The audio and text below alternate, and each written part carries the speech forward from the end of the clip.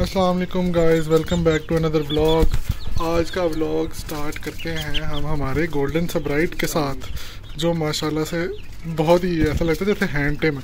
ये हाथ में सुकून से बैठा रहता है और प्यार भी करवाता है। तो आज का जो है हमारा एजेंडा ये है कि हमने इलेक्ट्रिशियन भाई को बुलाया हुआ है और हमने लगवाने हैं बल्ब। दोनों के जिसमें दो दो बल्ब लगवाएँगे ताकि जो है वो आगे सर्दियाँ आने वाली हैं तो इनको कोई हीट मिल सके के जिसके अंदर। तो सोचा कुछ हमने ऐसा है कि ये जो पाइप आपको नज़र आ रहे हैं, ये ऊपर दीवारों पे चलेंगे और दीवारों से ऐसे नीचे एक बल्ब इधर, एक बल्ब इस तरह इधर करके। और उसी तरह ही दूसरे केज में भी बल्ब ऐसे दो नीचे लगेंगे होके पाइप हम इसलिए यूज़ कर रहे हैं क्योंकि ये जो जानवर हैं, ये वायर को टुक सकते हैं और इनको करंट लग सकता है और इनका जान को ख़तरा हो सकता है। इस वजह से जो है ना वो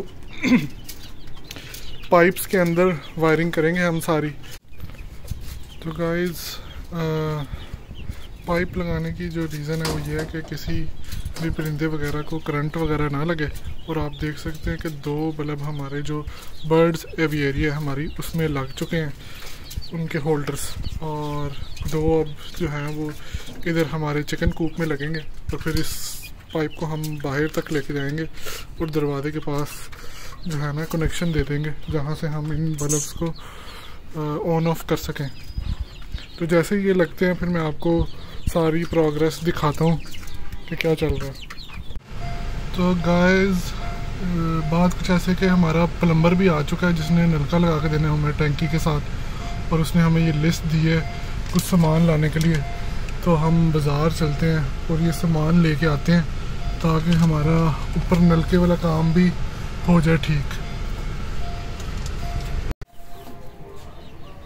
तो गाइस हमने सामान ला के प्लम्बर को दे दिया था। उसने ये हैंडल बॉल हमें लगा दिया और अब पानी का इंतज़ाम हमारा हो गया। तो इससे हम पानी भर लिया करेंगे। अब हमें टैंकी का ढकना खोल के पानी नहीं निकालना पड़ेगा। प्लस एक फ़ायदा ये भी हो गया कि इसके साथ आगे पाइप लगा के हम जब कभी पिंजरे वगैरह या इस एरिया को सारा धोना हुआ तो हम आसानी से धो सकेंगे। और जैसा कि आप देख सकते हैं कि हमारी बर्ड्स एवियरी में दो बल्ब लग चुके हैं और हमारे चिकन कूप में भी दो बल्ब लग चुके हैं। और भाई बस फाइनल जो है ना वो कनेक्शन लगाने लगे हैं। जिससे हम ऑन कर सकेंगे इस बल्ब वाले सारे कनेक्शंस को।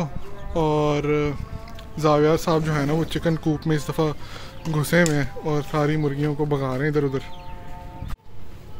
तो गाइस इलेक्ट्रिशियन अपना काम कर गया था, लेकिन मैं रात होने का वेट कर रहा था ताकि आपको रात का मंज़र दिखा सकूँ। माशाल्लाह से रोशन हो चुका है हमारा सेटअप और काफ़ी खूबसूरत लग रहा है। रात को। एक दूर से जो है, मैं आपको व्यू दिखाता हूँ हमारे सेटअप का कैसा लग रहा है। माशाल्लाह से काफ़ी रोशन हो गया। अब तो यहाँ पे फुल ऑन सीन अच्छा हो गया तो कोई बारबेक्यू शारबेक्यू भी कर सकते हैं। इतनी रोशनी हो गई है सेटअप पे। माशाल्लाह से। तो गाइस हम अपने सेटअप पे वापस आ चुके हैं और इनका दाना पानी जो है वो चेंज कर देते हैं हम। बर्ड्स एवियरी में हमारा जो है वो दाना है, पानी चेंज करने वाला है और चिकन कूप में दाना भी जो है वो चेंज करने वाला और पानी भी। और ये सब जो है वो लाइन लगा के दिन इंतज़ार कर रहे हैं और जल्दी से हम जो है ना वो कैन भर लेते हैं अपना और फिर जो है ना वो आपको मैं दिखाता हूँ कि हमारे चूज़ों की प्रोग्रेस कैसी चल रही है आज। बर्ड्स एवियरी में हम जो है वो नया पानी डाल रहे हैं और आप देख सकते हैं कि इनका जो है वो दाना अभी है। और इस दाने को ज़रा हिला देते हैं। एक दफ़ा ताकि ये खाने के लिए आ जाए। हमारे लैला मजनू ऊपर बैठे हैं और हीर रांझा नीचे बैठे हैं। और जावियार साहब को देखेंगे, खुद ही ऊपर आ चुके हैं। ये देखें, मैं चिकन कूप में आ गया उनका पानी चेंज करने के लिए, और आप इनकी हरकतें देखें। ये इन चूज़ों जो है ना मेरे, इन्होंने नया काम स्टार्ट कर लिया ये जो है ना मेरे पाँव को टुकते रहते हैं। क्योंकि जब मैं केजिस में आता हूँ तो उसमें रेत लग जाती है। तो ये उस रेत को जो है ना वो मेरे पाँव से टुकते रहते हैं। या जो मेरे पाँव पे बाल है, उसको खींचते रहते हैं। इनकी जो है ना धुलाई होने वाली हुई है। ये मेरे पैर में फिर हैं सारे। जाओ जाके अपना खाना खाओ नहीं। ये चलो, दौड़ जाओ।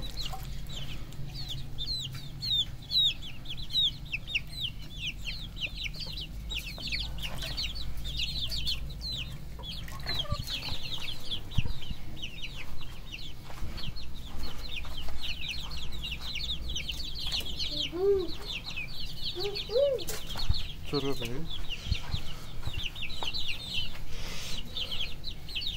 ये हमारी बंटी और बबली अभी तक कोई अंडा तो नहीं दे रहे।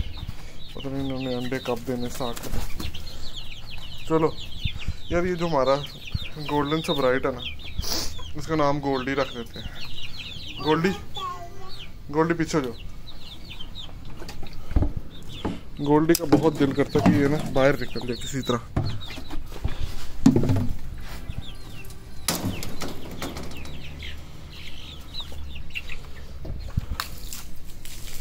तो हम ज़रा जल्दी से जाते हैं। इनके लिए ना दाना ले आते हैं और इनको दाना भी डाल देते हैं।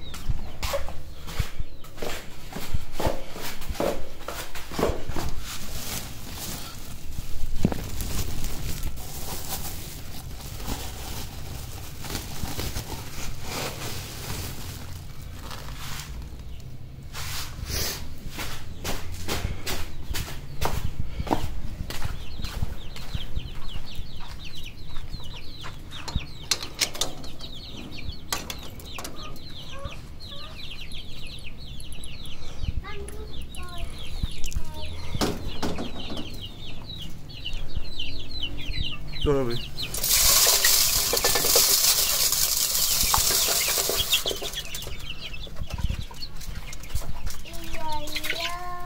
तुम पीछे जाओ। तुम जो बदमाशी दिखाने आए तुम्हारी बदमाशी मैंने ख़त्म कर देनी है।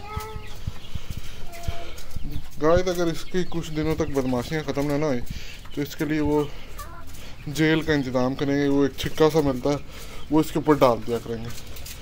बस इसका खाना पीना भी उधर ही करेंगे। फिर जब इसको समझ लग जाएगी इसने इन्हीं के साथ ही रहना है और मारना नहीं है, फिर जो है ना, इसको जेल से बाहर निकाल देंगे। तो गाइस आज की वीडियो यहीं तक थी। इंशाल्लाह मिलेंगे अगले ब्लॉग में। तब तक के लिए अल्लाह हाफिज़।